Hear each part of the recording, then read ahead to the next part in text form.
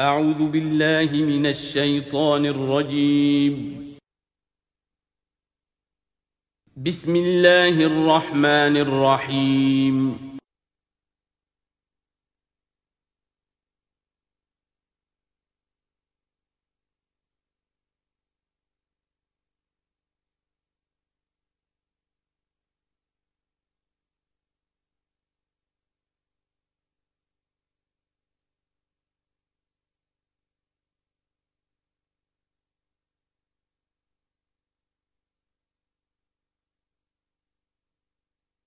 اعوذ باللہ من الشیطان الرجیم، بسم اللہ الرحمن الرحیم۔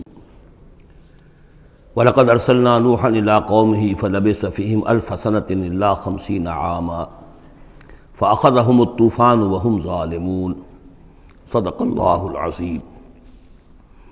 رب اشرح لي صدری ويسر لي امری واحلل عقدة من لسانی يفقهوا قولی۔ سورہ عنکبوت کے کل سات رکوع ہیں۔ پہلا رکوع جیسا کہ میں عرض کر چکا ہوں کہ قرآن مجید کے اہم ترین مقامات میں سے ہے۔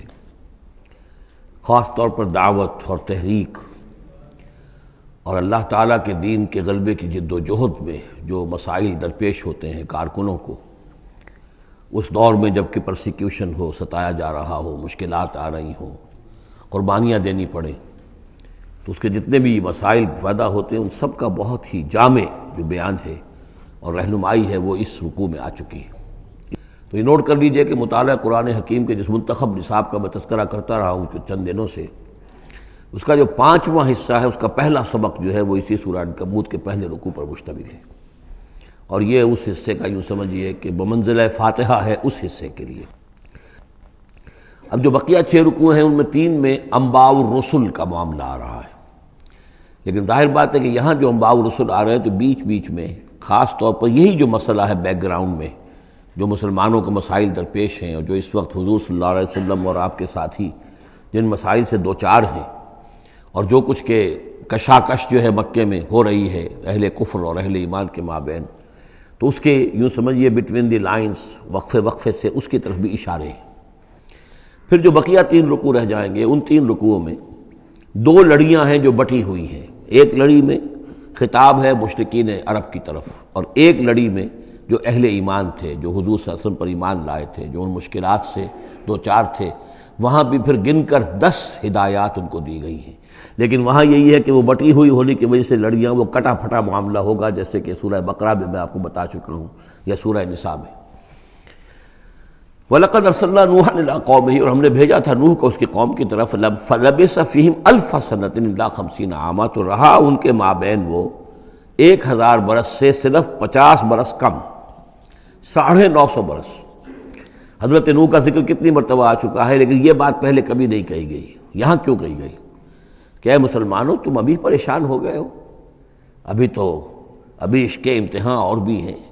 اور جیسے کہ سورہ انعام میں آیا تھا، اے نبی، اگر آپ کو یہ جھٹلا رہے ہیں وہیں یکذبو کا فقط کذبا رسول من قبلک تو آپ سے پہلے ہمارے رسول تھے، انہوں نے صبر کیا۔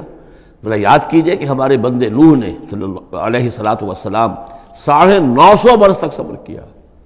تو اے مسلمانوں، تم سوچو، تم ابھی سے گھبرا گئے یہ موج پریشاں خاطر کو پیغام لبے ساحل نے دیا ہے۔ دور وسالے بہر کبھی تو موجوں میں گھبرا بھی گئی۔ فاخت احمد طوفان وہم ظالمون، تو اس کی قوم کو، حضرت نوح کی قوم کو آپ پکڑا طوفان نے اور وہ ظالم تھے گناہ گار تھے۔ فن جنا ہو اصحاب سفینہ تھے تو ہم نے بچا لیا اس کو یعنی حضرت نوح کو اور کشتی والوں کو۔ وہ جالنا آیت للعالمین، اور اسے ہم نے بنا دیا تمام جہانوں کے لیے، تمام جہان والوں کے لیے ایک نشانی۔ وہ ابراہیم اور ہم نے بھیجا ابراہیم کو اس قال قوم ہی جبکہ اس نے کہا اپنی قوم سے عبد اللہ و اللہ کی بندگی اختیار کرو اور اس کا تقوی اختیار کرو۔ ذالکم خیر الکم ان تم تعلمون، یہی تمہارے لیے بہتر ہے اگر تم سب اگر علم رکھتے ہو۔ انما تعبدون من دون اللہ اوسانا یہ جن کو تم پوج رہے ہو اللہ کو چھوڑ کر، یہ تو صرف کوئی بت ہیں، ان کے تھان ہیں جو تم نے بنا لیے ہیں۔ وہ تخلقون افکا اور تم نے جھوٹ موٹ گھڑا ہوا ہے۔ یہ اس کی کوئی بنیاد نہیں، کوئی سند نہیں، نہ عقل میں اور نہ ہی کسی اللہ کی اتاری ہوئی کتاب میں۔ ان الذین تعبدون من دون اللہ لا یملکون لکم رزقا۔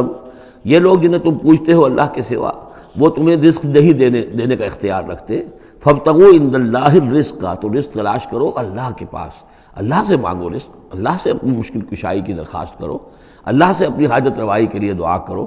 وابدو ہو اور اس کی بندگی کرو۔ وشکرو اللہ اور اس کا شکر ادا کرو۔ الہ ترجعون، یقیناً اسی کی طرف تم لوٹا دیے جاؤ گے۔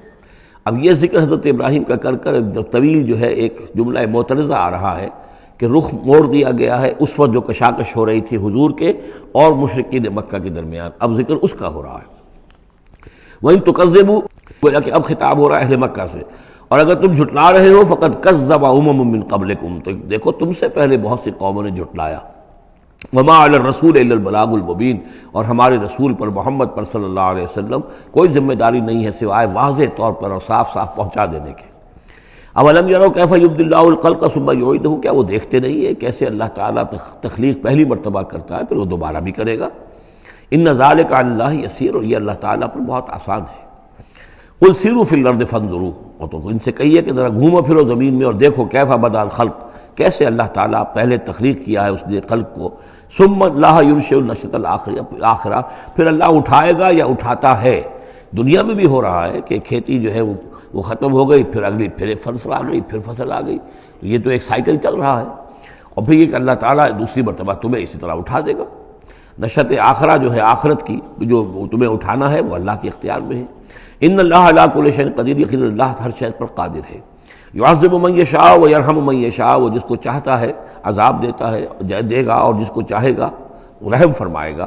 وہ الہ تقلبون، اور اسی کی طرف تم لوٹا دیے جاؤ گے۔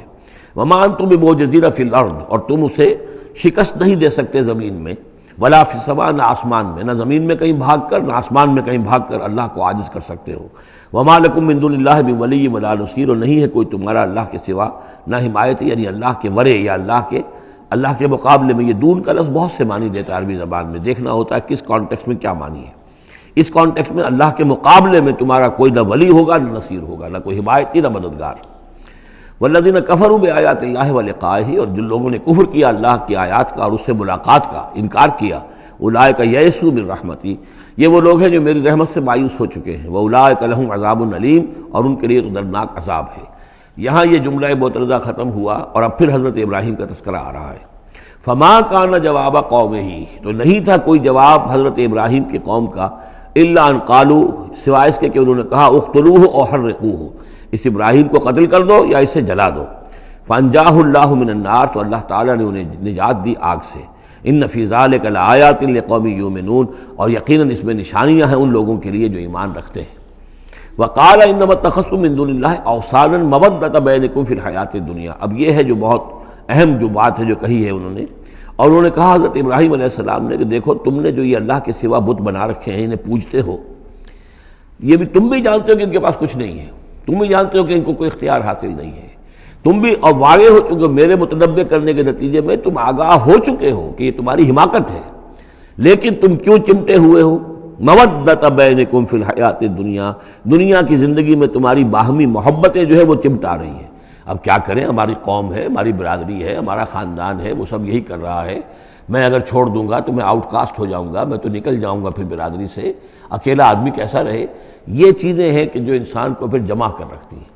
جیسے عصبیت کا ذکر آیا تھا پچھلی صورت میں کہ اب عصبیت نہیں ہونی چاہیے۔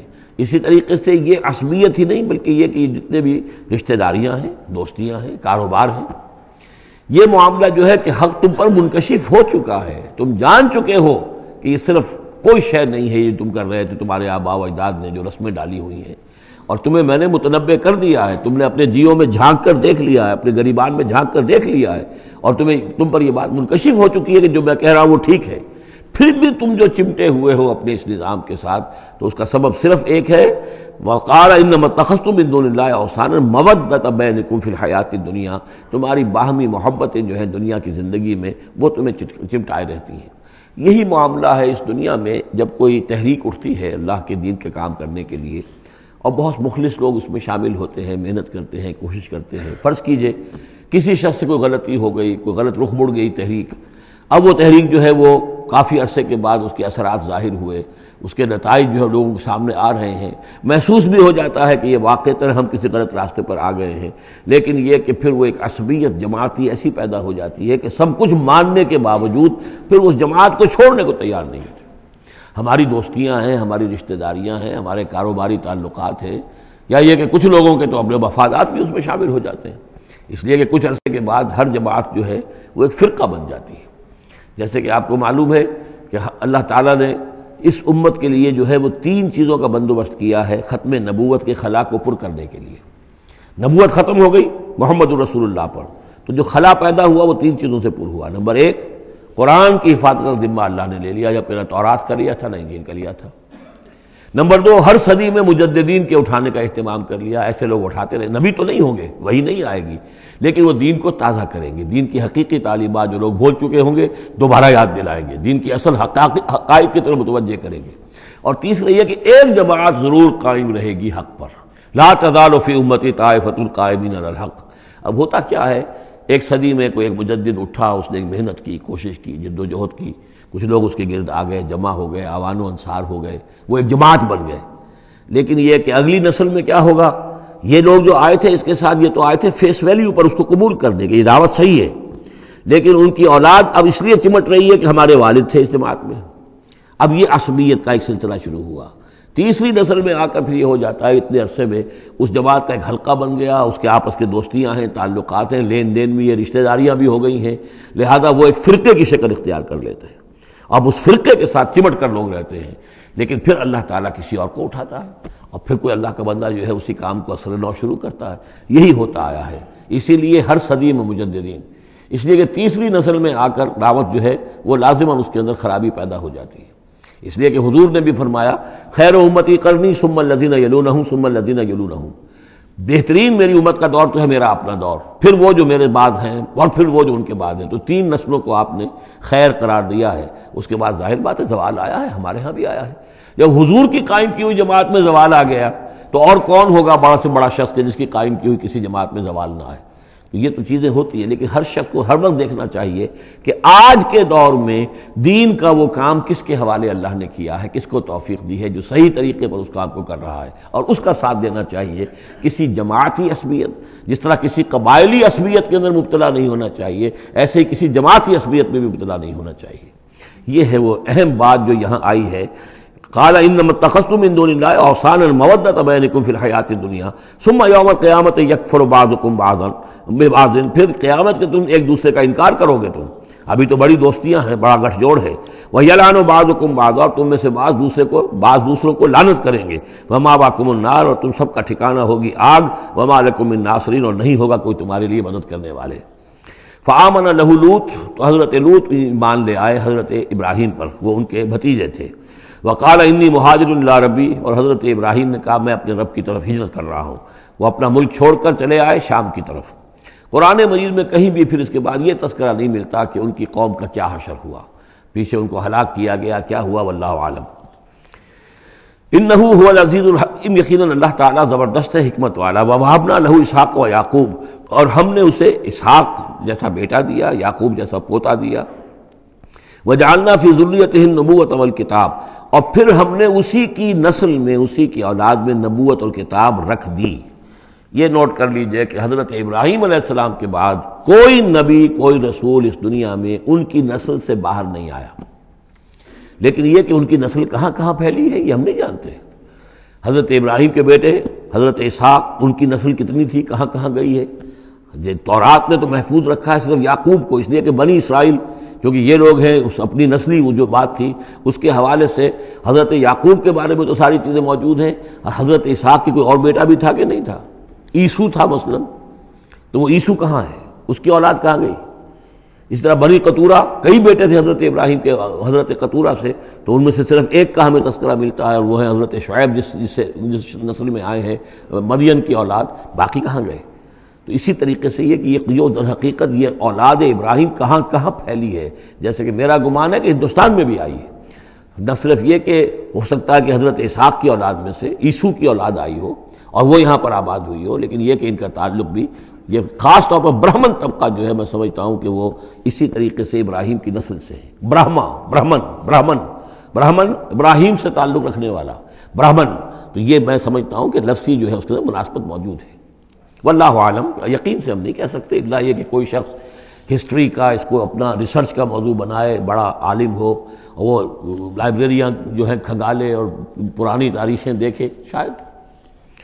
وہابنا لہو اسحاق و یعقوب و جالنا فی ضروریت نبوت اول کتاب ہم نے اسی کی نسل میں، اسی کی اولاد میں نبوت اور کتاب رکھ دی۔ طویل عرصے تک وہ نبوت و کتاب آتی رہی حضرت یعقوب کی اولاد میں۔ پھر آخری نبوت و رسالت حضرت اسماعیل کی اولاد میں۔ وہ آتے نہ ہو فی دنیا ہم نے اسے اجر جو ہے دنیا میں بھی عطا فرمایا۔ وہ ان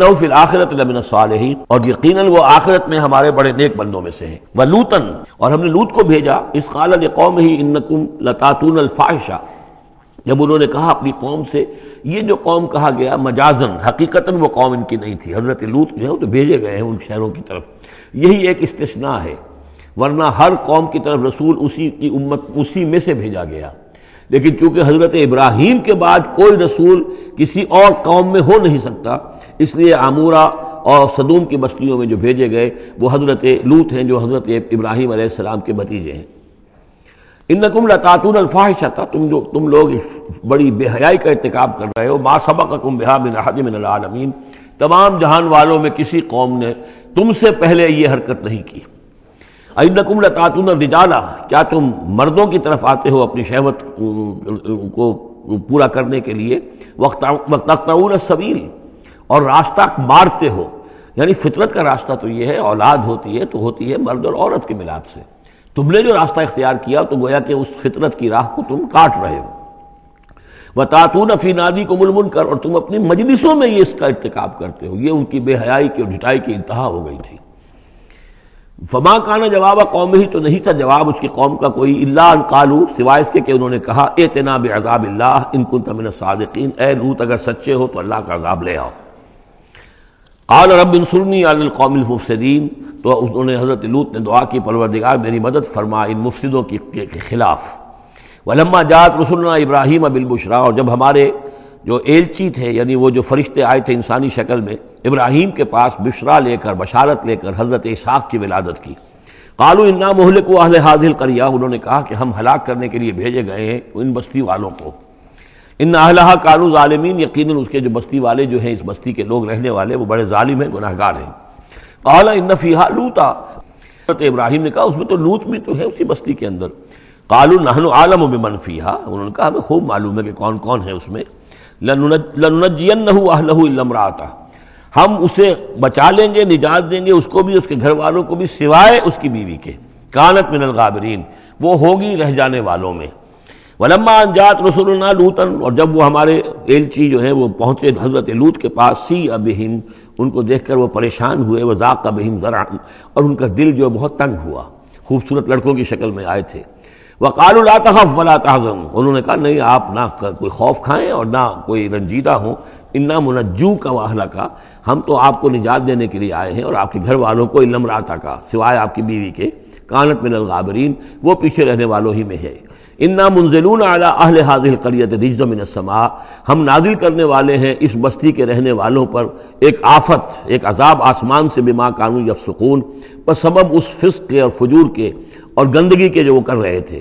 وَلَقَدْ تَرَكْنَا مِنْهَا آیَةً بَيِّنَةً اور ہم نے چھوڑ دیا اس میں سے، اس بستی میں سے کوئی نشانی جو ہے، وہ اس وقت تک موجود ہوگی جبکہ قرآن نازل ہوا ہے۔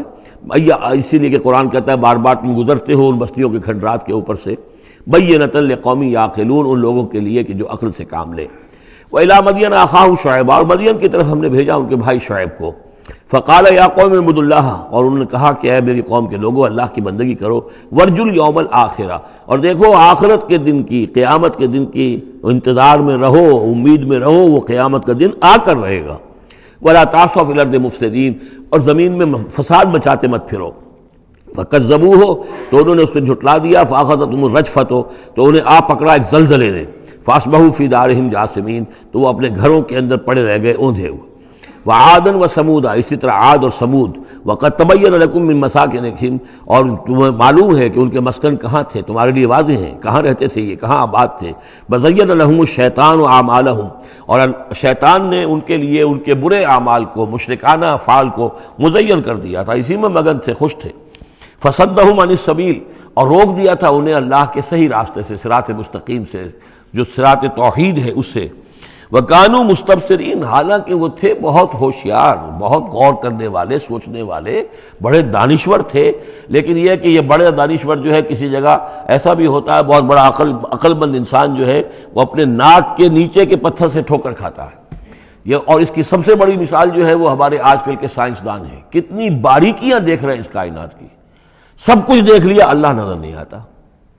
کہاں سے کہاں دیکھ رہے ہیں؟ کتنی بڑی بڑی ٹیلیسکوپس ہیں، کتنے ٹریلین ٹریلین وہ لائٹ ایئرز کے اوپر دریافت کر رہے ہیں کہ نیا ستارہ وجود میں آ گیا، سب کچھ ہو رہا ہے۔ لیکن یہ کہ ان تمام چیزوں کو دیکھنے کے باوجود ان کا دماغ اللہ کی طرف منتقل نہیں ہوتا۔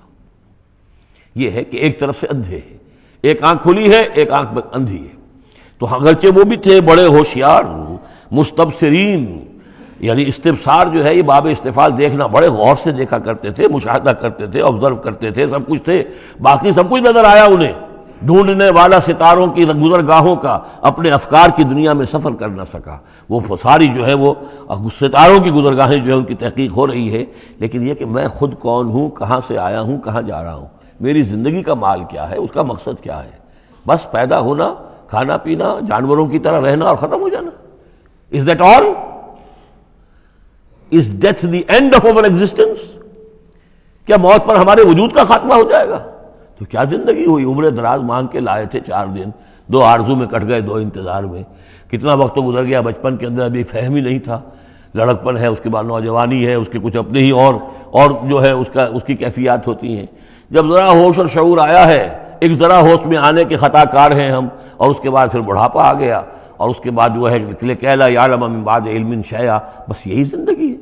یہ اشرف المخلوقات ہے؟ یہ مسجود ملائک کی زندگی یہ ہے؟ نہیں۔ اصل زندگی تو ہے، تو اسے پیمانہ امروز و فردا سے نہ ناپ۔ جاویداں پہ ہم دواں ہر دم جواں ہے زندگی۔ وہ زندگی تو ابدی ہے۔ یہ تو اس کا چھوٹا سا حصہ علیحدہ کر کے ایک امتحانی وقفہ بنا دیا ہے اسے۔ اسے ایک امتحانی وقفہ ہے، تین گھنٹے کا نہیں، تیس سال کا صحیح، بس۔ اس کے علاوہ کچھ نہیں۔ کوانٹیٹیو فرق ہے، کوالٹیٹیو نہیں۔ وہ قارون و فرعون و حامان۔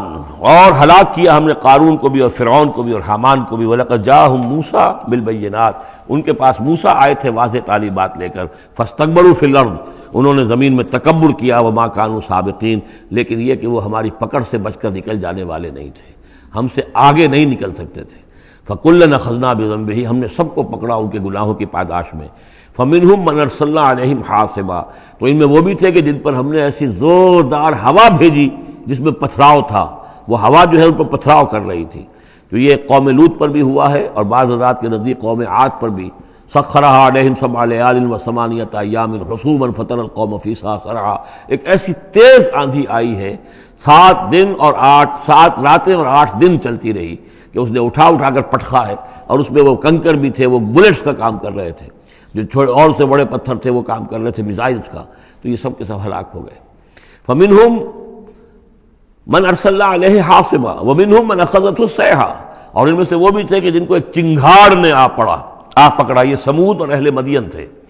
ومن ہم من خصف ناب الارض ان میں وہ بھی تھے کہ جنہیں ہم نے زمین میں دھسا دیا۔ یہ قانون کا معاملہ ہے جو سورہ قصص میں آ چکا ہے۔ ومن ہم من اغرقنا اور وہ بھی تھے جنہیں ہم نے غرق کر دیا۔ اور غرق کرنے کے دو طریقے ہوئے۔ ایک تو یہ کہ جو قوم آباد تھی، قوم نو جہاں تھی، وہی غرق کیا، وہی کا وہی۔ لیکن یہ کہ ایک یہ ہے کہ فرعون کو اور اس کے فوج کو اور لاؤ لشکر کو ان کے محل سے نکال کر، ان کی، ان کے شہروں سے نکال کر لا کر اور دریا، سمندر میں غرق کیا۔ وہ ماں کان اللہ علیہ یسلم لیکن اللہ تعالیٰ ان پر ظلم کرنے والا نہیں تھا بلاکن قانو انفسم یسلمون بلکہ یہ تو وہ خود اپنے اوپر ظلم کر رہے تھے۔ مسل الزین تخذ مندون اللہ اولیاء کا مسل العنکبوت یہ بھی اس کی اس اس حصے کی ان تین رکوعوں کی بڑی اہم آیت ہے تمثیل ہے۔ مثال ان لوگوں کی کہ جنہوں نے اللہ کے سوا کسی کو اپنا حمایتی بنا رکھا ہے۔ یہ حمایتی غیر مرئی بھی ہو سکتے ہیں، جیسے یہ ہماری دیوتی، دیوی ہے، یہ دیوتا ہے، یہ اس کی کرپا چاہیے، اس کا، اس کی نظر کرم ہو۔ یہ ہمارے جو اولیاء اللہ ہیں، ذرا ان کی طرف سے اگر کچھ ہمیں فیض پہنچ جائے۔ اور یہ بھی ہوتا ہے دنیا میں بھی، مادی اعتبار سے بھی۔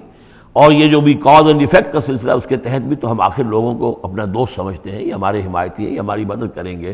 لیکن واقعہ یہ ہے کہ سوائے ایک اللہ کی دوستی کے، باقی ساری دوستیاں جو ہیں، وہ مکڑی کے جالے جتنی بس مضبوط ہیں، اس سے زیادہ نہیں ہے مسل النظین تخم دون اللہ اولیاء کا مسل العنکبوت، جن لوگوں نے اللہ کو چھوڑ کر کسی اور کو اپنا پشت پناہ اور مددگار بنایا ہے، کسی اور پر توکل ہے، کسی اور پر سہارا ہے امریکہ ہماری مدد کرے گا۔ وہ جو کچھ سن اکہتر میں ہوا، وہ آپ کو معلوم ہے۔ وہ بیڑا اس کا جہاز بھی آ رہا تھا، لیکن یہ کہ کوئی مدد ہماری نہیں کی گئی۔ کوئی نہیں ہے، کوئی کسی کا سہارا بننے والا نہیں ہے۔ سہارا تو اگر کوئی ہے تو وہ اللہ ہے، لیکن اس کو تم نے چھوڑ دیا۔ اس کو سہارا نہیں بنایا۔ مسل النظین مسل النظین تخب دون اللہ اولیاء کا مسل العنکبوت اتخذت بیتا۔ یہ بکری بھی تو ایک گھر بناتی ہے، جالا بناتی ہے۔ وَإِنَّ أَوْهَنَ الْبُيُوتِ لَبَيْتُ الْعَنْكَبُوتِ اور سب جانتے ہیں کہ تمام گھروں میں سب سے زیادہ کمزور گھر وہ اس مکڑی کا گھر ہے۔ لو کانو یعلمون کاش کے انہیں معلوم ہوتا۔ ان اللہ یعلم ما یدعون من دونہ من شے اللہ خوب جانتا ہے کہ جس جس کو یہ پکار رہے ہیں، اللہ کے سوا کوئی شے ہے ہی نہیں۔ وہ العزیز الحکیم، اور وہ زبردست ہے حکمت والا۔ و تل کل امسال النظر بحال الناس وما یاقل العالمون۔ اور یہ مثالیں ہیں کہ جو ہم لوگوں کے لیے بیان کرتے ہیں، لیکن نہیں سمجھتے ان سے، مگر وہی لوگ کہ جو علم رکھنے والے ہیں۔ خلق اللہ سماوات والارض، اللہ تعالیٰ نے آسمان اور زمین تخلیق فرمائے بالحق، حق کے ساتھ۔ ان نفیزہ آیت للمومنین یقیناً اس میں نشانی ہے اہل ایمان کے لیے۔ اب یہ جو بقیہ تین رکو ہیں، اکیسویں پارے میں آ رہے ہیں یہ، جیسا کہ میں نے کیا، اس میں دو لڑیاں ہیں بٹی ہوئی۔ ایک لڑی ہے خطاب اہل ایمان سے۔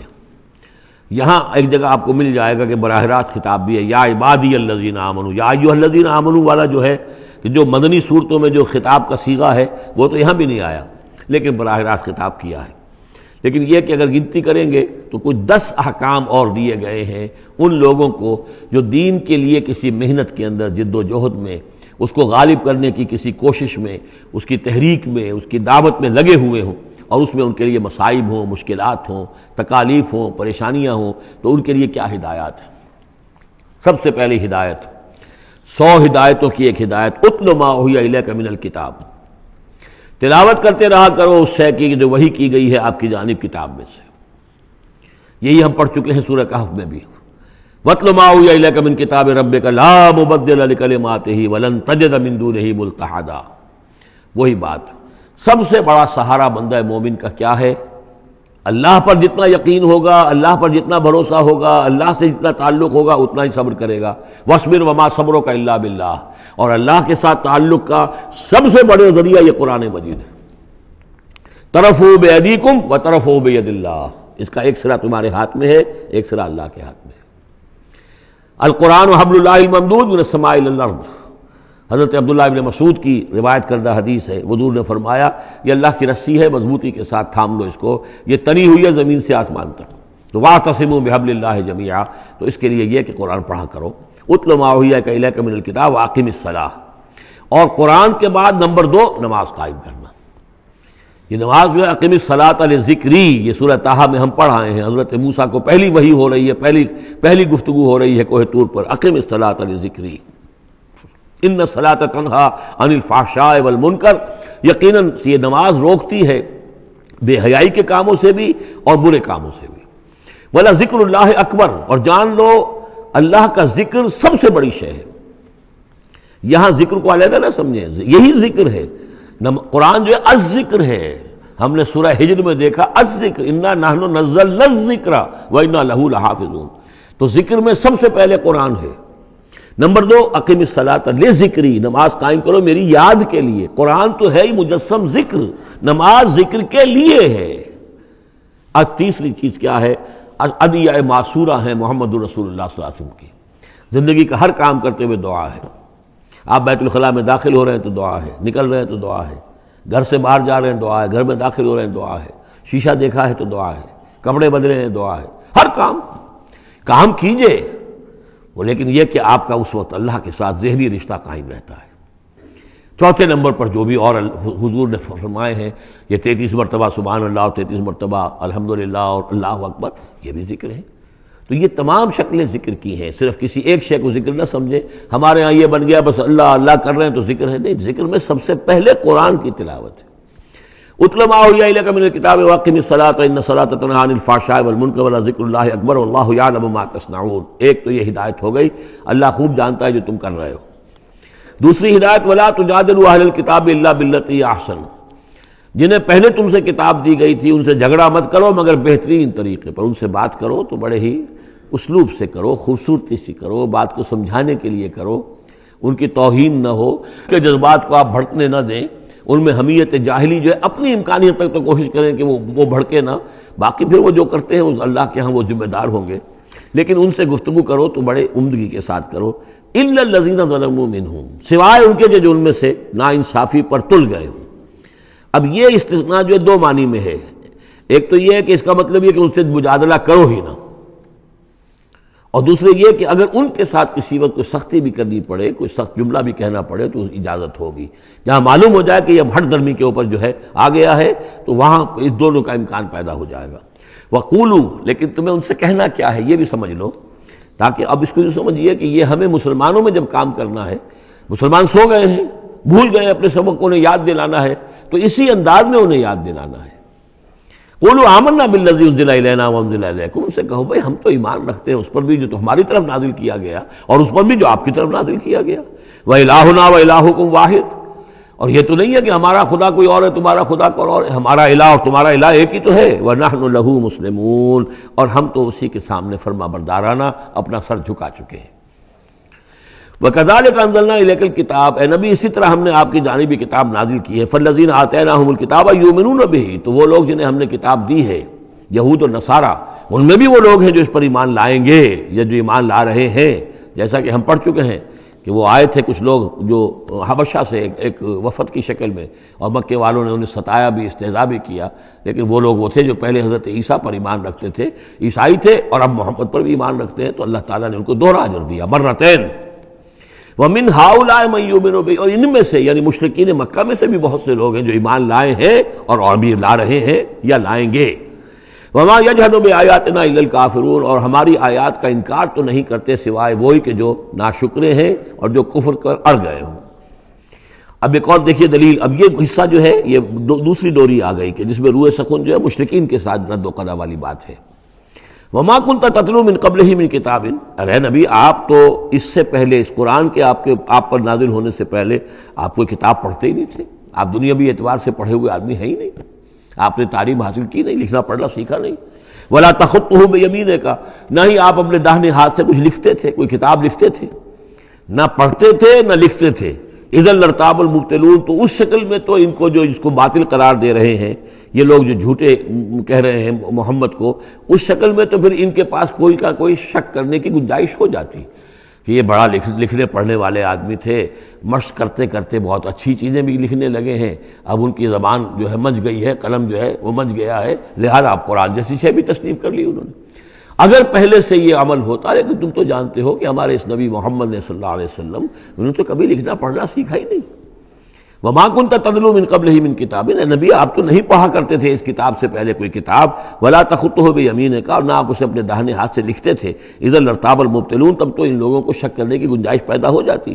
بل ہوا آیات بینات فی صدور الزین اوت العلم۔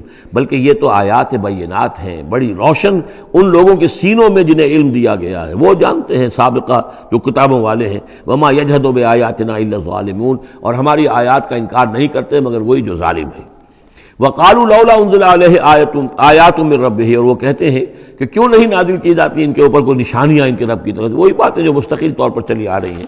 قل انما انما الآیات من اللہ نبی کہہ دیجیے، نشانیوں کا اختیار کل کا کل اللہ کے ہاتھ میں ہے۔ وہ انما انا نذیر مبین، اور میں تو صرف واضح طور پر خبردار کر دینے والا ہوں۔ اولم یکفیہم انا انزلنا علیک الکتاب یتلا علیہم؟ کیا ان لوگوں کے لیے یہ نشانی کافی نہیں ہے کہ اے محمد ہم نے آپ پر یہ کتاب نازل کر دی ہے جو اس جو ان کو پڑھ کر سنائی جا رہی ہے؟ کیا یہ قرآن معجزہ نہیں ہے؟ کتنی مرتبہ ان کو چیلنج کیا گیا اس قرآن جیسی ایک صورت ہی بنا لاؤ، دس صورتیں بنا لاؤ، کیا یہ معجزہ نہیں ہے؟ کیا یہ عاجز نہیں آ چکے ہیں؟ اولم یکفہم، تو کیا یہ نشانی ان کے لیے کافی نہیں؟ اگر تو حق کا تعلیم ہو، ہدایت کا تعلیم ہو، تو یہ نشانی بھی کافی ہے۔ اولم یکفیم انا انزلنا علیک الکتاب یتلا علیہم ان فی ذالک الرحمت و ذکر علی قومی یومنون یقیناً اس میں رحمت ہے اور یاد دہانی ہے، تذکیر ہے ان لوگوں کے لیے کہ جو مانتے ہیں۔ قل کفا باللہ بینی و بینی شہیدن بینکم شہیدن کہہ دیجیے میرے اور تمہارے درمیان اللہ کافی ہے بطور گواہ۔ وہ جانتا ہے کہ اس نے مجھے رسول بنایا ہے۔ وہ جانتا ہے کہ قرآن اس نے مجھ پر نازل کیا ہے۔ یا علم معافی سماوات وہ جانتا ہے جو کچھ کے آسمانوں میں ہے اور زمین میں ہے، والذین آمنوا بالباطل ہے، اور وہ لوگ جو باطل پر ایمان رکھتے ہیں وہ کفروا باللہ، اور اللہ کا کفر کرتے ہیں اولئک هم الخاسرون، یقیناً وہی لوگ ہوں گے جو خسارے پانے والے ہیں۔ وہ یستعجلون کا بالعذاب، یہ جلدی مچا رہے ہیں کہ لے آؤ عذاب۔ ولولا اجل المسمى اور اگر پہلے سے ایک وقت معین طے نہ ہو چکا ہوتا لجاءهم العذاب، تو پھر ان پر عذاب آ چکا ہوتا۔ ولا یاتینہم بغتۃ اور وہ ان پر آئے گا تو اچانک آئے گا، وہم لا یشعرون، اور انہیں پتہ بھی نہیں ہوگا۔ یستعجلون کا بالعذاب یہ نبی، پھر دوبارہ یہ الفاظ آئے، نوٹ کیجیے، بہت لطیف بات ہے۔ یہ عذاب کی جلدی مچا رہے ہیں۔ وَإِنَّ جَهَنَّمَ مُحِيطَةٌ بِالْكَافِرِينَ۔ حالانکہ جہنم ان کا احاطہ کر چکی ہے۔ یہ ایسے ہی ہے کہ جیسے کسی شہر کے باہر دشمن آ چکا ہو اور اس نے محاصرہ کر لیا ہو، شہر والوں کو پتہ ہی نہ ہو۔ تو اس طریقے سے وہ چونکہ غیر مرئی ہے، جہنم نظر نہیں آ رہی ورنہ حقیقت میں تو جہنم ان کا احاطہ کر چکی ہے۔ یوم یکشاہم العذاب، جس دن کے عذاب ان کو آ کر ڈھانپ لے گا، ان پر چھا جائے گا، من فوقہم و من تحت ارجلہم، ان کے اوپر سے بھی اور ان کے نیچے سے بھی، ان کے قدموں کے نیچے سے بھی۔ وہ یقول ذوقوا ما کنتم تعملون، اور پھر کہا جائے گا، چکھو اپنے کرتوتوں کا مزہ۔ اب یہاں وہ تیسری ہدایت آ رہی، دو پہلے میں نے گنوائی تھی۔ اتل ما ہویا الیک من کتاب رب من الکتاب واقم الصلاۃ، ان الصلاۃ تنہی عن الفحشاء والمنکر ولذکر اللہ اکبر۔ دوسری، ولا تجادلوا علی الکتاب الا بالتي احسن الا الذين ظلموا منهم۔ اب دیکھیے تیسری، یا عبادی الذین آمنوا ان ارضی واسعۃ فیایا فاعبدون اے میرے وہ بندو جو ایمان لائے ہو۔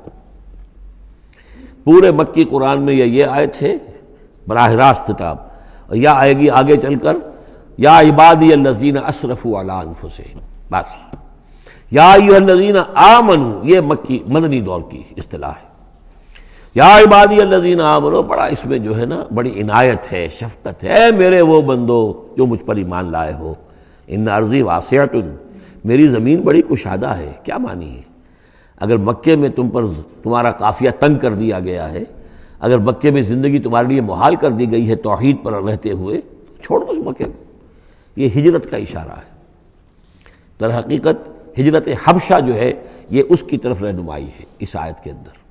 کہ چلے جاؤ اگر یہاں برداشت سے باہر ہو رہا ہے، تمہارے لیے ناقابل برداشت اگر ہو رہا ہے یہاں کا معاملہ، اور نہیں مزید طور پر ہندر پاتے، تو اس ملک کو چھوڑ، اس جگہ کو چھوڑ دو۔ یا عبادی الذین آمنوا ان ارضی واسعت میری زمین بڑی کشادہ ہے فیا فعبدون پس صرف میری ہی بندگی کرو۔ چوتھی ہدایت، کل نفس ذائقت الموت۔ دیکھو، موت تو آنی ہی آنی ہے۔ آج آ جائے، کل آ جائے۔ آج نہ آئے، کل آ جائے گی۔ آخر عمار اور یاسر کو ابو جہل نے اگر فرض کرو کہ ذبح کر دیا ہے، تو فرض کیجیے کہ چند دن اور جیتے تو موت تو پھر بھی آنی تھی نا۔ تو کل نفس ذائقت الموت۔ اگر یہ بات ذہن میں رہے کہ موت تو آنی ہی آنی ہے، آج نہیں تو کل، تو پھر بھی انسان جو ہے اس کے اندر ہمت بنی رہے گی کہ میں خام کا اپنی زندگی بچانے کے لیے حق کو چھوڑوں اور باطل سے ساز باز کروں اس سے مصالحت کروں۔ سم لینا ترجعون اور پھر تم ہماری طرف لوٹا دیے جاؤ گے۔ پانچویں بات والذین آمنوا وعملوا الصالحات لنبوئنہم من الجنت غرفا۔ ہمارے اس وعدے پر پختہ یقین رکھو کہ جو ایمان لائیں گے اور نیک عمل کریں گے، ہم لازماً ان کو جگہ دیں گے اس جنت کے بالا خانوں میں۔ جو سورہ فرقان کے آخری رکوع میں آیا تھا الائے اولئک یجزون الغرفۃ بما صبروا، انہیں غرفہ، بالا خانہ ملے گا۔ تو من الجنت غرفن جروں کے بالا خانے ملیں گے جنت کے۔ تجری من تحت الانہار و خالدین فیہا، جس کے نیچے ندیاں بہتی ہوں گی، اس میں وہ ہمیشہ ہمیش رہیں گے۔ نعم اجر العاملین، کیا ہی اچھا ہوگا عمل کرنے والوں کا اجر۔ چھٹی بات، الذین صبروا وعلی ربہم یتوکلون۔ وہ لوگ کہ جو صبر کریں اور اپنے رب پر توکل کریں۔ صبر کرو اور توکل کرو، دو ہی چیزیں ہیں۔ جو آئے، جھیلو، صبر کرو، برداشت کرو۔ اور جو کچھ کرنا ہے اس میں توکل اللہ پر ہو، اپنی ذات پر نہیں، اپنی طاقت پر نہیں، اپنی صلاحیت پر نہیں، اپنی ذہانت پر نہیں، اپنی فطانت پر نہیں، اپنی لیاقت پر نہیں، سارا توکل اللہ نہ مادی اسباب و وسائل پر۔ اگلی ہدایت اور آ رہی ہے۔ وکائی مندابت اللہ تحمل و رزق کہا یہ بھی نہ سمجھو کہ تمہارا رزق جو ہے کسی کے قبضے میں ہے، وہ روک دے گا۔ اور تمہیں کیا کھاؤ گے، کیا پیو گے؟ وکائی من دابتن تم دیکھتے نہیں کتنے حیوانات ہیں زمین میں، لا تحمل و رزق کہا کیا وہ اپنا رزق اٹھائے پھرتے ہیں؟ بڑا پیارے الفاظ ہیں انجیل میں، متی کی انجیل میں حضرت مسیح علیہ السلام کا جو پہاڑی کا واز ہے، اس میں انہوں نے اپنے شاگردوں سے خطاب کر کے کہا، کیوں فکر کرتے ہو کہ کیا کھاؤ گے، کیا پیو گے؟ جنگل کی چڑیوں کو نہیں دیکھتے؟ نہ وہ کاشت کرتی ہیں، نہ ہل چلاتی ہیں، نہ بیج بوتی ہیں، نہ فصل کاٹ کر کہیں رکھتی ہیں، نہ کھتے بھرتی ہیں۔ پھر بھی میں تم سے کہتا ہوں کہ وہ خالی پیٹ صبح گھر سے نکلتی ہیں، شام کو آسودہ ہو کر آ جاتی ہیں۔ تو جو جو رب، تمہارا جو رب ان ان کو، چڑیوں کو کھلا رہا ہے، وہ تمہیں نہیں کھلائے گا۔ اور کیوں فکر کرتے ہو کہ کیا پہنو گے؟ لباس کہاں سے ملے گا؟ جنگل کی سوسن کو نہیں دیکھتے؟ کہ جتنا خوبصورت لباس اس کو اللہ نے دیکھ رکھا ہے، یہ جو بھی پودے ہیں اور جو پھول ہیں ان کے تو سلیمان بھی اپنی ساری شان و شوکت کے باوجود ویسا ملبس نہ تھا، ویسا خوبصورت لباس تو سلیمان کو بھی میسر نہیں تھا جو اللہ نے ان پھولوں کو دے رکھا ہے۔ تو غور کرو، جو وہ زمین کی اس گھاس پھوس کو ان پودوں کو اس قدر حسین لباس دے رہا ہے، عمدہ لباس دے رہا ہے، جو ابھی ہیں اور کل نہیں ہوں گے، یا یہ کہ کاٹ کر اور وہ چولہوں میں جلا دی جائے گی گھاس، تو کیا وہ تمہیں نہیں پہنائے گا؟ لیکن تم یقین نہیں کرتے۔ توکل اور ایمان، یہ دونوں چیزیں ساتھ ساتھ جائیں گی۔ جتنا اللہ پر ایمان ہے، اتنا ہی توکل ہوگا۔ جتنا ایمان کمزور ہے، توکل بھی نہیں ہو سکے گا۔ تو اللہ صبر والا رب کہا یہ سارے جو ہیں، چوپائے اپنا رزق لیے نہیں پھرتے۔ اللہ یرزقها وإياكم اللہ انہیں بھی رزق دیتا ہے، تمہیں بھی دے گا۔ وہ السمیع العلیم۔ اور یقیناً وہ سب کچھ سننے والا، جاننے والا ہے۔ ایسا نہیں کہ اسے معلوم نہ ہو کہ میرا بندہ بھوکا ہے، میرا وفادار، میرا سپاہی، میرے دین کے لیے کام کرنے والا۔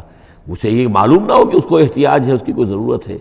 وہ نہ معلوم کس کے دل میں ڈالے گا کہ جو اس کے لیے ذریعہ بنا دے گا اس کو اور اس کی ضرورت پوری ہو جائے گی۔ اب اس کے بعد وہ دوسری کڑی آ گئی کہ جس میں پھر اب وہ مشرقین مکہ سے۔ بولا ان سالتا ہوں من خلق سماوات سخر شمس القبر اور ان سے آپ پوچھیں گے کس نے پیدا کیا آسمان اور زمین اور کس نے مسخر کیا سورج اور چاند کو؟ لا یقول اللہ، وہ کہیں گے اللہ نے۔ فانا یو فکون پھر پھر کہاں سے یہ لوٹا دیے جاتے ہیں؟ اللہ ابسط رزق لمن یشاء بن عبادی و یقدر اللہ یہ اللہ ہی ہے کہ جو اپنے بندوں میں سے جس کے لیے چاہتا ہے رزق کو شادہ کر دیتا ہے اور جس کے لیے چاہتا ہے ماپ تول کر دیتا ہے، کم کر دیتا ہے۔ ان اللہ بک الشعین علیم، یقیناً اللہ تعالیٰ ہر چیز پر، ہر چیز کا علم رکھتا ہے۔ وہ لائن سالتا ہوں من نظر من سمائے مان فاہیا بھی باد موتحا اور اگر آپ ان سے پوچھیں گے کس نے برسایا آسمان سے پانی اور زندہ کیا زمین کو اس کے مردہ ہو جانے کے بعد لقول اللہ وہ کہیں گے فوراً اللہ نے کیا۔ بولے الحمد للہ کہو، پھر کل حمد، کل شکر بھی اللہ ہی کے لیے ہے، بل اکثر ہم لا یاقلون۔ لیکن یہ لوگ ان کی اکثریت عقل سے کام نہیں لیتی۔ اب اگلی اور ہدایت آ رہی اہل ایمان کے لیے، وما هذه الحیات الدنیا الا لهو ولعب وان الدار الاخرۃ لهي الحيوان لو كانوا يعلمون دیکھو مسلمانوں، یہ دنیا کی زندگی تو کھیل کود کے سوا کچھ نہیں۔ کھیل ہے، کچھ جی کا بہلا لینا ہے۔ یہ ڈرامہ ہے جو ہو رہا ہے یہاں بادشاہ ہوتا ہے، کچھ عرصے کے لیے بادشاہ۔ جیسے ڈرامے میں بادشاہ ہوتا ہے۔ لیکن جب مرے گا تو کیا وہ بادشاہت کہاں رہ جائے گی؟ ایسے ہی ڈرامے سے نکل آئے گا، لباس اتار دے گا۔ تو ایک ایکٹر کا ایکٹر ہے، چاہے وہ فقیر تھا پہلے اس ڈرامے کے اندر، اور دوسرا ایکٹر جو ہے بادشاہ تھا۔ باہر نکل کر تین گھنٹے کے بعد دونوں کے دونوں ایک جیسے ہیں، اور وہ نہ وہ بادشاہ بادشاہ ہے، نہ وہ فقیر فقیر ہے۔ یہ ہے، عارضی سا ہے۔ لیکن یہ کہ ان دارن آخرت الہی الحیوان، یقیناً آخرت کا گھر وہ ہے اصل زندگی۔ زندگی وہ ہے۔ لو کانو یعلمون، کاش کے ہمیں معلوم ہوتا۔ لو کنہ نالمو کاش کے ہمیں معلوم ہوتا۔ یہ بھی نوٹ کر لیجیے۔ آخرت کو صرف مان لینا کہ ہاں آخرت ہے باس بادل موت ہے، یہ کافی نہیں ہے۔ یہ معلوم ہو کہ اصل زندگی وہی ہے۔ میں نے جو اس کی تشبیح جو ہے بیان کی ہے بعض مواقع پر، کہ ایک کتاب ہوتی ہے، ایک اس کا دیباچہ بھی ہوتا ہے، اس کا کوئی زمیمہ بھی ہوتا ہے۔ چھوٹا سا زمیمہ۔ ہمارا جو تصور ہے وہ یہ کہ اصل کتاب زندگی تو یہ دنیا کی زندگی ہے۔ ہاں ایک زمیمہ لگا ہوا ہے آخرت کا۔ اس کی اہمیت ہمارے نزدیک اتنی ہے۔ زمیمہ ہے بس دنیا کی زندگی اصل زندگی ہے۔ ہونا کیا چاہیے کہ یہ دنیا کی زندگی تو دیباچہ ہے، اصل کتاب جو ہے وہ آخرت کی زندگی ہے۔ یہ ریشو پروپورشن کم سے کم، حالانکہ ویسے تو فائنائٹ اور انفائنائٹ کے درمیان کو ریشو پروپورشن ہو ہی نہیں سکتی۔ ایک لامحدود زندگی اور ایک محدود زندگی کیا کیا اس میں ریشو پروپورشن ہوگی؟ لیکن یہ کہ پھر بھی اگر کوئی کرنی ہے تو دیباچہ اور کتاب کتاب زندگی اصل موت کے بعد کھلے گی۔ یہ دیباچہ ہے، یہ مقدمہ ہے۔ ہم نے کیا سمجھا؟ اصل زندگی، کتاب زندگی یہ ہے ہاں ایک زمیمہ بھی اس کے ساتھ ہے جس کا نام آخرت ہے۔ فیضا رکھے وہ فلفل پھر انہی مشرقین سے پھر خطاب ہو رہا ہے اور یہ مضمون کئی بار آ چکا ہے۔ جب یہ سوار ہوتے ہیں کشتی میں دام اللہ مخلصین اللہ الدین، تو پھر یہ اللہ ہی کو پکارتے ہیں، اس کے لیے اپنی اطاعت کو خالص کرتے ہوئے۔ فلما نجاؤ البر، اور جب اللہ تعالیٰ انہیں نجات دے دیتا ہے خشکی کی طرف اضاح یشرکون، تو پھر یہ شرک کرنا شروع کر دیتے ہیں۔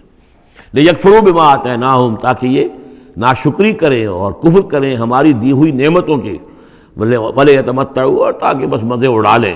فصوف یعلمون، پھر یہ جان لیں گے۔ اللہ کو متقاصر حتیٰ تم المقابل کلّا صوفت عالمون سم کلّا صوفت عالمون اصل حقیقت اس وقت کھلے گی. اولم یرا ورنہ جالنا حرمن آمنن یہ پھر اہل ایمان سے کہا جا رہا ہے. کیا یہ دیکھتے نہیں کہ ہم نے حرم کو ان کے لیے امن کی جگہ بنا دیا ہے؟ وہ یوں تو ختم الناس من حولہم اور لوگ جو ہیں اچک لیے جاتے ہیں ان کے ارد گرد سے. باقی عرب کے اندر تو امن و امان تھا ہی نہیں. افبل باطل یومنون بنعمت اللہ یکفرون، تو کیا یہ باطل پر ایمان رکھتے ہیں؟ اور اللہ کی نعمت کا یہ کفران کر رہے ہیں۔ ومن ازلم ممن افترا علی اللہ کذبا او کذب بالحق لما جاءه۔ اس شخص سے بڑا ظالم اور کون ہوگا جس نے کوئی چیز گھڑ کر اللہ کی طرف منسوب کر دی؟ اور اسی طرح وہ شخص کہ جس نے اللہ کی طرف سے آئے ہوئے حق کی تکذیب کر دی جبکہ اس کے پاس آیا۔ یہ دونوں ہم بدن جرم ہیں۔ یعنی اگر میں جھوٹ موٹ قرآن جو ہے خود تصنیف کر کے اللہ کی طرف منسوب کر رہا ہوں، تو مجھ سے بڑا ظالم اور گناہ گار کوئی نہیں۔ لیکن یہ بھی سوچ لو، اگر واقع یہ اللہ کا کلام ہے جو میں تمہارے سامنے پیش کر رہا ہوں اور تم اس کی تقزیب کر رہے ہو، تو تم سے بڑا ظالم کوئی نہیں۔ علیہ صفی جہنم مسول للکافرین۔ تو کیا جہنم ہی میں ٹھکانہ نہیں ہے ان کافروں کا؟ اور آخری آج جو ہے پھر اسی سیزے میں، لنہدین والذین جاہدو فینا، اہل ایمان کی دلجوئی کے لیے۔ گھبراؤ نہیں، پریشان نہ ہو۔ والذین جاہدو فینا لنہدینہم سبولنا وہ لوگ کہ جو ہماری راہ میں جہاد کریں، محنت کریں، کوشش کریں، جد و جہد کریں، قربانیاں دیں اثار کریں، انہیں مطمئن رہنا چاہیے۔ ہمارا پختہ وعدہ ہے موقع وعدہ ہے۔ ہم لازمن ان کی رہنمائی کریں گے اپنے راستوں کی طرف۔ لنہدینہم سبولنا وَإِنَّ اللَّهَ لَمَعَ الْمُحْسِنِينَ۔ اور یقینا اللہ تعالی ساتھ ہے اہل احسان کے۔ جو اللہ تعالیٰ کے پر ایمان اور یقین اس درجے کا رکھتے ہوں اور اس کے لیے تن من دھن لگانے کے لیے تیار ہوں، تو اللہ ان کے ساتھ ہے۔ یعنی اللہ کی نصرت ساتھ ہے، اللہ کی مدد ساتھ ہے، اللہ کی تائید ساتھ ہے۔ سورة الروم، بسم اللہ الرحمن الرحیم الفلام غلبت الروم فی ادن الارض وهم من بعد غلبهم سیغلبون فی بضع سنین۔ للہ الامر من قبل ومن بعد ویوم یفرح المؤمنون، بنصر اللہ ینصر من یشاء، وهو العزیز الرحیم۔ وعد اللہ لا يخلف اللہ وعدہ ولیکن اکثر الناس لا يعلمون یہ سورہ روم جو ہے، اس میں آغاز میں جو مضمون آیا ہے، وہ اس اعتبار سے بہت اہم ہے کہ ایک تاریخی پس منظر بھی ہے اس کا۔ اور ایک بہت بڑی پیشن گوئی تھی کہ جو ان آیات میں کی گئی تھی کہ جو پھر صحیح صحیح ایگزیکٹلی جیسے کہ پیشن گوئی اللہ نے کی تھی ان آیات میں وہ پوری ہوئی۔ یہ آپ ذہن میں رکھیے کہ بہت طویل عرصے تک، کئی سو برس تک تاریخ کے اندر جب یہ ایرانی امپائر بنی ہے کہ خسرو سے، سائرس سے، کے زمانے سے ڈھائی ہزار سال پہلے جو بادشاہ تھا ذوالقرنین، تو ایک بڑی سلطنت یہ تھی اور دوسری بڑی سلطنت جو تھی وہ سلطنت روما تھی۔ سلطنت روما کا سب سے بڑا حصہ تو خیر روم، جو یورپ کے اندر تھا، لیکن یہ کہ یہ ترکی کا پورا علاقہ اور مغربی میڈیٹرینین کے ساتھ ساتھ جو ساحل ہے، یہ ان کے پاس ہوتا تھا۔ ان دو حکومتوں میں جیسے سی سو ہوتا ہے، جھولا جھول رہی تھی تاریخ کبھی ایرانیوں میں کوئی زوردار طاقتور بادشاہ اٹھا باصلاحیت اس وہ، اس نے حملہ کیا اور رومیوں کو دھکیل دیا، وہ یورپ کے اندر اور ایشیا خالی کرا لیا۔ کبھی رومیوں میں کوئی زبردست طاقتور، کوئی بادشاہ اٹھا جو کہ جس کے اندر صلاحیت تھی، وہ آ کر ایرانیوں کو دھکیلتا ہوا پیچھے لے جاتا تھا۔ تو اس طریقے سے یہ سی سو جو ہے، یہ کئی سو برس تک جاری رہا۔ حضور کی بیست کے زمانے میں ایسا معاملہ ہوا ہے کہ سن چھ سو چودہ میں چھ سو دو سے لے کر چھ سو چودہ تک۔ اور حضور کی ولادت ہوئی ہے پانچ سو اکہتر میں۔ یعنی جب حضور کی عمر اکتیس برس تھی، اس سے لے کر اور پینتالیس برس کی عمر تک۔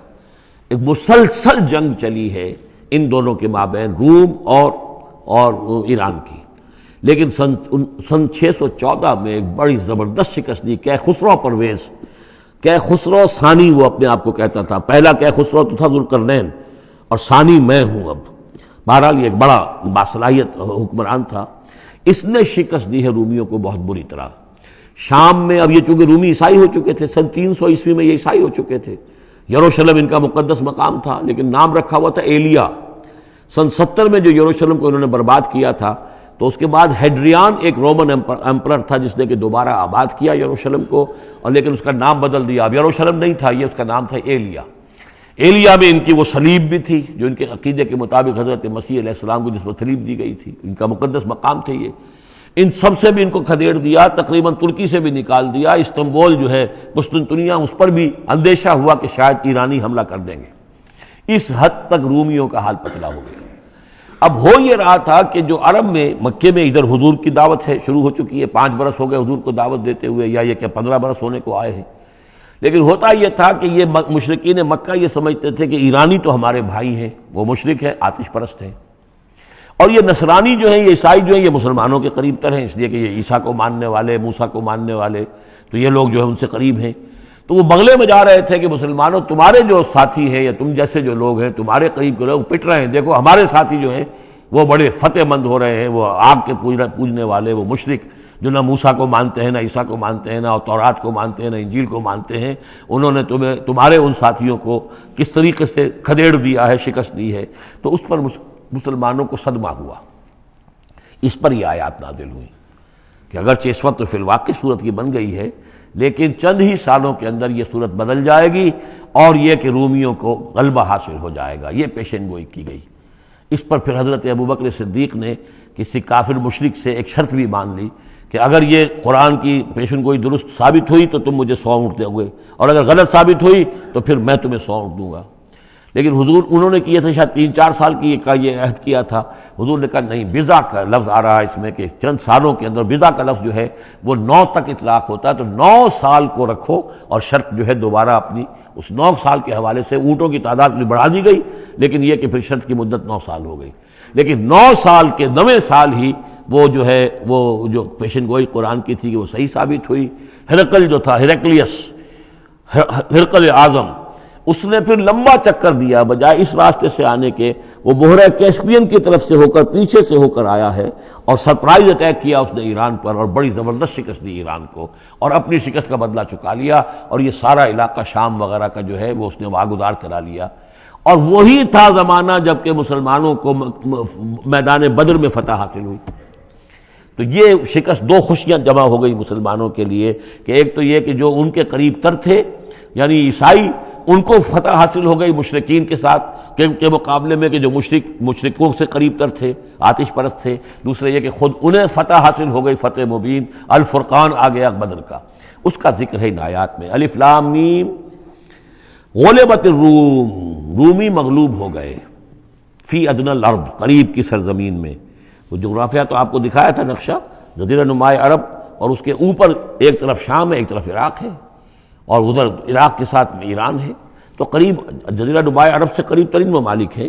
فی ادن الارض، قریب کے ملک میں رومی غالب آ گئے۔ لیکن وہ ہم امباد غلبہم سے یغلبون وہ اپنی اس مغلوبیت کے بعد ان قریب دوبارہ غالب آئیں گے۔ فی بز سنین، چند سالوں میں۔ اور یہ بزا کا لفظ جو ہے، یہ نو تک پر اس کا اطلاق ہوتا ہے، دس سے کم کم، نو۔ تو حضور نے اسی لیے کہا کہ نو سال چونکہ تم شرط مان رہے اور شرط اس وقت تک شرط لگانا حرام قرار نہیں دیا گیا تھا۔ ابھی نہ جوئے کی حرمت آئی ہے، نہ شراب کی حرمت آئی ہے، اس لیے اس میں آپ کو تعجب نہ کریں کہ حضرت ابو بکر نے شرط لگائی۔ تو فرمایا غلبت الروم فی ادن الارض وهم من بعد غلبهم سيغلبون في بضع سنين لله الامر من قبل ومن بعد۔ اللہ ہی کا اختیار تھا، اللہ ہی کے ہاتھ میں تھا سارا معاملہ، پہلے بھی اور بعد میں بھی۔ یوم یفرح المومنون اس روز اہل ایمان خوشیاں منائیں گے۔ ایک خوشی تو اس کی ہوگی کہ عیسائیوں کو فتح ہو گئی آتش پرستوں پر، اور بے نصر اللہ ہے، اللہ کی مدد بھی آئے گی ان کے پاس۔ یعنی غزوہ بدل کا لفظ نہیں آیا، لیکن اہل ایمان کو جو ہے اس وقت فرحت ہو گئی۔ بے نصر اللہ اللہ کی مدد سے ینصر من یشاء۔ وہ مدد کرتا ہے جس کی چاہتا ہے، وہ العزیز الرحیم، اور وہ زبردست ہے رحم فرمانے والا۔ وعد اللہ، یہ اللہ کا وعدہ ہے، یہ ہو کر رہے گا۔ لا يخلف اللہ وعدہ، اور اللہ تعالیٰ اپنے وعدے کے خلاف نہیں کرتا، ولیکن اکثر الناس لا يعلمون لیکن اکثر لوگ علم نہیں رکھتے۔ یہ ہیں وہ چھ آیات کہ جو اس موقع پر نازل ہوئی ہیں۔ اور اس کو سمجھ لیجیے کہ یہ تقریباً چھ سو چودہ عیسوی، جبکہ حضور صلی اللہ علیہ وسلم کو دعوت دیتے ہوئے تقریباً پانچ برس ہو گئے تھے۔ چھ سو دس میں، پانچواں برس تھا، چھ سو دس میں آپ پر وہی شروع ہوئی ہے۔ اور پھر نو برس کے بعد وہ غزوہ بدر بھی ہوا اور ان کو بھی فتح حاصل ہو گئی۔ یا لمون ظاہر من الحیات دنیا یہ لوگ جو ہیں، اب یہ باقی تو جو مدنی صورت، مکی صورت ہے سورہ روم، اور یہ بہت مشابہ ہے سورہ نحل کے۔ اللہ تعالیٰ کی نعمتوں کے حوالے سے، اللہ تعالیٰ تو تذکیر میں اعلیٰ اللہ کے حوالے سے اس کا مضمون وہی ہے، بنیادی۔ یا لمون ظاہر من الحیات دنیا یہ لوگ دنیا کی زندگی کو بھی صرف ظاہر کو جانتے ہیں۔ وہ ہم ان آخرت ہم غافلون اور آخرت سے یہ بالکل ہی غافل ہیں۔ یعنی دنیا کی زندگی کی حقیقت یہ ہے کہ یہ مدرات الآخرہ ہے۔ دنیا کی زندگی کی بھی اصل حقیقت یہ ہے کہ یہ کھیتی ہے جس میں بونا ہے آخرت میں کاٹنے کے لیے۔ وہ یہ بھول گئے کہ یہ آخرت کی کھیتی ہے۔ باقی جو ظاہر ہے اس کا، کھاؤ پیو، عیش کرو، بس یہی ان کا، ان کے سامنے رہ گیا ہے۔ اور آخرت ان کے ذہنوں سے بالکل اوجل ہو گئی ہے۔ اولم یہ تفکرو فی انفسہم؟ کیا یہ اپنی اپنی ذات میں غور نہیں کرتے؟ وان ما خلق اللہ السماوات والارض وما بینہما الا بالحق نہیں پیدا کیا اللہ نے آسمانوں کو اور زمین کو، جو کچھ بھی ان دونوں کے مابین ہے مگر حق کے ساتھ، واجل مسمہ اور ایک وقت معین تک کے لیے۔ یہ دائمی نہیں ہے، ہمیشہ رہنے والی نہیں ہے۔ اور یہ ایسے ہی کار عبس نہیں ہے۔ ربنا ما خلق تحاظہ باطلا سبحان کا فقن عذاب النار۔ وَإِنَّ كَثِيرًا مِّنَ النَّاسِ بِلِقَاءِ رَبِّهِمْ لَكَافِرُونَ اور یقیناً بہت سے لوگ جو ہیں اپنے رب سے ملاقات کا انکار کرتے ہیں۔ اولم یسیروا فی الارض فینظروا کیف کان عاقبۃ الذین من قبلہم تو کیا یہ لوگ زمین میں گھومے پھرے نہیں ہیں کہ وہ دیکھتے کہ کیا انجام ہوا ان کا جو ان سے پہلے تھے۔ کانوا اشد منہم قوتا وہ کہیں زیادہ تھے شدید ان کے مقابلے میں قوت میں۔ وہ اثار الارض وعمروها اور انہوں نے زمین کو کاشت کیا اور اس کو آباد کیا اکثر مما عمروها۔ اس سے کہیں زیادہ جتنا کہ انہوں نے آباد کیا ہے۔ وہ جات ہوں رسول بالبینات، اور ان کے پاس بھی آئے تھے، ان کے رسول کھلی نشانیاں لے کر اور واضح تعلیمات لے کر۔ فما کان اللہ علیہ تو اللہ تعالیٰ ان پر ظلم کرنے والا نہیں تھا بلاکن کانو انفسہم یظلمون، بلکہ انہوں نے خود اپنی جانوں پر آپ ہی ظلم کیا۔ ثم کان عاقبت الذین اساءوا السوء، پھر اس کے بعد جن لوگوں نے برے کام کیے، بری روش اختیار کی، تو ان کا پھر انجام بھی برا ہوا۔ انکر زبو آیات اللہ۔ انہوں نے اللہ تعالیٰ کی آیات کو جھٹلایا وہ کانو بہا یستحزئون اور وہ اس کا ٹھٹھا کرتے رہے۔ اللہ عبد الخلق ثم یعیدہ اللہ تعالیٰ ہی نے اللہ تعالیٰ پہلی مرتبہ پیدا کرتا ہے، ثم یعیدہ یعیدہ ہی بار بار آیا ہے، اس کا ترجمہ کہیں میں حال میں کر رہا ہوں اور کہیں مستقبل میں۔ فعل مضارع جو عربی زبان میں، وہ دونوں کو کور کرتا ہے۔ اللہ تعالیٰ کیسے پیدا کرتا ہے؟ پہلی مرتبہ اور پھر دوبارہ پیدا کرتا ہے۔ یعنی فصل ہے، ایک ہوئی ہے، پھر اس کے بعد دوسری ہوئی ہے، تیسری ہوئی ہے۔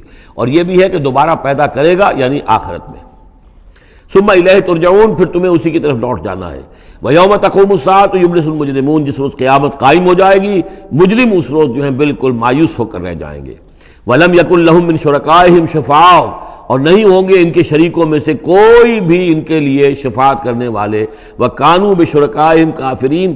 اور خود یہ بھی اس روز پھر اپنے ان شرکا کا کفر کریں گے جب دیکھیں گے کہ وہ ہمارا کوئی مدد کرنے کو تیار نہیں۔